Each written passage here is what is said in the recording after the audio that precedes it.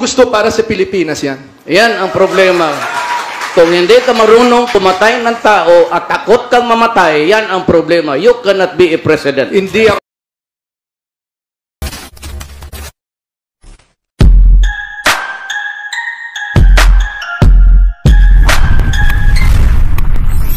Hindi ako, hindi ako, believe me. You cannot. Huwag na lang yan. Maghanap ka na lang ibang... You hindi know, ako takot mamatay. Ako Then- mismo pumunta sa Yolanda, ako mismo pumunta Ako na doon. ako mismo pumunta sa Zamboanga, doon ako tumira tatlong linggo para ano subaybayan nangyari. ng ating mga kapulisan, ang ating mga kasundaluhan doon. Hindi po ako takot mamatay. Ang aking ay hindi pwede na basta-basta tayong mamatay ng tao na walang proseso. Ang mga mahihirap lang ang na, pinapatay diyan. Sino mga malalaking tao ang pinatay mo? Ikaw. Sino mga malalaking tao ang binangga mo? Hindi mo lang alam. Kasi wala kang alam talaga.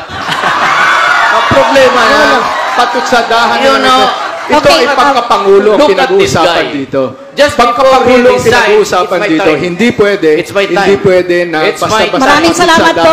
Tapos na po tayo dun Ano, sa topic mo, na yan. We'll, ah, we'll just move on to uh, But I said Senator I was there. Remember I just said I was there in Yolanda Day too. This guy cannot handle stress. Ay, nako. He's a weak leader. You were there. You were asking us for coffee and we were there accommodating you. Nandun ako, nagpapatakbo ng meeting. Nandun Ah. ang mga general, And nandun you- si Secretary Bolts Gasmin, nandun Secretary Dinky Soliman.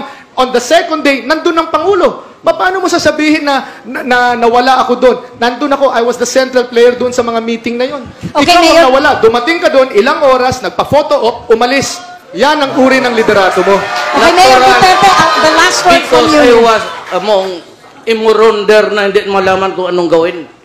I said, you were there, you were lost like a zombie. I was there for I two said, weeks. Mar. Araw-araw ako nagpatakbo ng meeting. May, may So, lahat ng mo mga tao, nangyari. may mga tao Okay, doon na titigil na po tayo dito. Mawalang galang na lang. Okay, Mayor Rodrigo. Assuming, Secretary Rojas, na yung nahuli ninyo nasa Bilibid Prison, ano kaya ginagawa? Okay. ang bilibid ho ay nasa ilalim ng Department of Justice. Abogado po kayo. Alam po ninyo Kasama yan. ka sa administrasyon. You are the apologist of I'm- this administration. I'm not the apo- You answer proud me.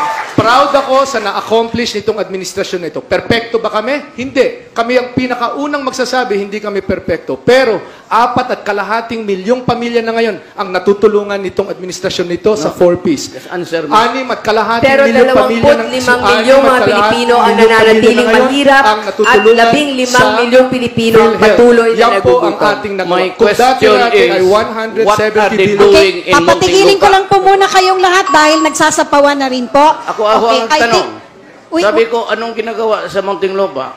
Di simple, nagluluto ng Cebu hanggang ngayon.